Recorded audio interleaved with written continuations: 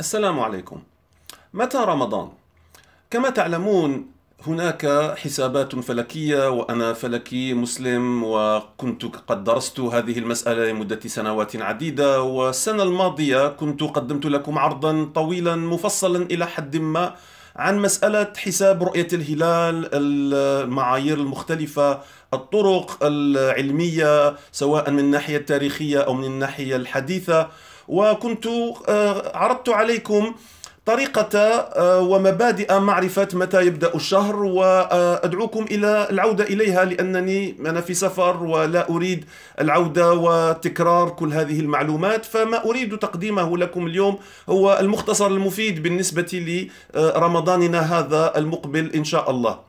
متى سيكون رمضان؟ الشيء الأهم الذي يجب أن يعرف هو متى يحدث الاقتران يعني متى يأتي القمر هكذا بين الأرض وبين الشمس فيدخل في دورته الجديدة الفلكية القمرية دورته أو مداره حول حول الأرض آه هذا سيحدث يوم الخميس 25 مايو الساعة تقريبا الثامنة إلا ربع مساء بالتوقيت العالمي مساء ومعنى هذا أن في منطق في معظم المناطق التي تهمنا آه، أو حتى في العالم بأسره سيكون تكون الشمس قد غربت ويكون القمر آه، دخل في الشهر بعد غروب الشمس وبعد آه، بداية الليل. بمعنى آخر أن في آه، ذلك المساء ونحن نبحث أو يتم تحري الهلال آه، بعد غروب الشمس بعد المغرب بحوالي نصف ساعة إلى ساعة. حين ذلك الوقت يكون القمر لم يدخل أصلا في دورته الجديدة في معظم آه، بقاع الأرض. سنعرض عليكم الخريطة المعتادة على الشاشة وهي الخريطة المأخوذة من برنامج المواقيت الدقيقة Accurate Times الذي وضعه أخونا المهندس آه، محمد عودة مشكورا. آه، هذه الخريطة تبين لكم أن في ذلك المساء يوم الخميس 25 مايو معظم العالم في المنطقة الحمراء في المنطقة الحمراء معناه أن القمر هذا غير موجود في السماء في تلك الليلة أو في ذلك المساء يعني أن آه، الاقتران لم يحدث أو أن القمر غرب قبل الشمس وبالتالي لا يمكن النظر إليه أو تحريه أو رصده سواء بالعين أو بأي جهاز كان. هناك منطقة بيضاء كما ترون في أقصى غرب الأرض في أمريكا الجنوبية وفي المحيط الأطلسي. هذه المنطقة البيضاء معنى أن القمر موجود فوق الأفق بعد غروب الشمس ولكنه لا يمكث إلا فترة قليلة يعني بضعة دقائق أو عشر دقائق ربع ساعة. وكنت قد ذكرت لكم في السنة الماضية أن الرقم القياسي لرصد أصغر يعني أقل شيء رأيناه في تاريخ الرصد الفلكي هو تقريبا 20 دقيقة بالأجهزة وعلى الأقل نصف ساعة بالعين المجردة. فإذا مكث القمر آه، في السماء بعد غروب الشمس لبضعة دقائق وأقل من ثلث ساعة أو نصف ساعة فلن تراه لا الأجهزة ولن, ولن تراه العين وهذا ما يحدث في هذه المنطقة البيضاء. هناك منطقة صغيرة جدا هي المنطقة الزرقاء التي ترونها وهذه في أقصى في وسط المحيط الهادي. هذه المنطقة يرى فيها الهلال مبدئيا بالأجهزة يعني بالتلسكوبات أو بالمناظر. ولكن آه، عندما يرى في تلك المنطقة يكون النهار قد قد بدأ في معظم مناطقنا وبالتالي لا يمكن حتى للذين يقولون بتوحيد المطالع أنه إذا كان الهلال قابلا للرؤية في أي مكان في العالم فنأخذ به ويبدأ الشهر في كل العالم. هذا ما يسمى بالتقويم الموحد أو توحيد توحيد المطالع.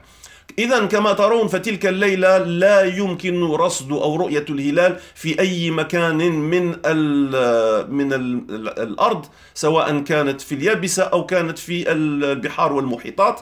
وبالتالي يوم الجمعة اليوم الذي يليه أي يوم 26 مايو لا يمكن أن يكون بداية الشهر الجديد أي شهر رمضان فيما يهمنا هنا.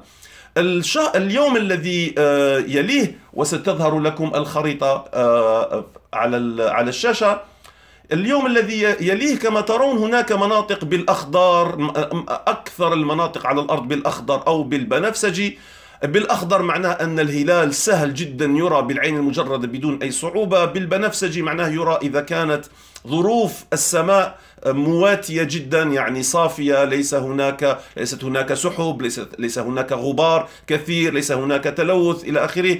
ف يعني ممكن جدا أن يرى بالعين المجردة. المناطق الزرقاء كما أشرت هي المناطق التي يرى فيها بالأجهزة فقط ولا يرى بالعين المجردة. ولكن كما ترون يعني 90% أو أكثر من العالم بما فيه العالم الإسلامي بأسره يقع في هذه المناطق التي يرى فيها الهلال بسهولة تامة. وبالتالي نستطيع نحن الفلكيون أن نقول مسبقا أن يوم الخميس مساء لن تتمكن فيه الرؤية ولا يجب أن يدعى الناس للتحري أصلا لأن الهلال غير موجود في السماء وأن يوم الجمعة مساء سيكون الهلال موجودا في السماء. وسهل الرؤية في بعض المناطق سهل جدا بالعين في بعض المناطق يكون قابلا للرؤية إذا كانت الظروف الجوية ظروف السماء موالمة وفي مناطق أخرى سيكون قابلا للرؤية بالأجهزة وبالتالي سيكون آه، أول يوم من رمضان يوم السبت 27 مايو إن شاء الله بالنسبة لكل العالم. هذه يعني الحمد لله هذه السنة يعني ظروف القمر والأرض والشمس يعني اجتمعت كل هذه الظروف حتى تجعل الرؤية موحدة وممكنة في نفس الليلة بالنسبة للجميع وبالتالي إن شاء الله هذه السنة لن يكون هناك اختلاف سواء للذين يأخذون بالحساب ونحن منهم طبعا أو الذين يصرون على التحري ونحن لا نوافق على ذلك ولكن هذه المرة إن شاء الله كلنا سنتفق بالنسبة للذين يقولون بالتقويم الموحد يعني بتوحيد المطالع أينما رؤية في الأرض فيعمم على باقي المعمورة أو الذين يقولون بالتقويم الثنائي وكنت شرحت كل هذا وأدعوكم للعودة إلى آه، تلك الحلقات في آه، من قبل سنة تقريبا للاطلاع على تفاصيل آه، رؤية الهلال وتفاصيل التقويم الإسلامي كيف يوضع على أي مبادئ وماذا يقوله الفلكيون وماذا يقوله الفقهاء.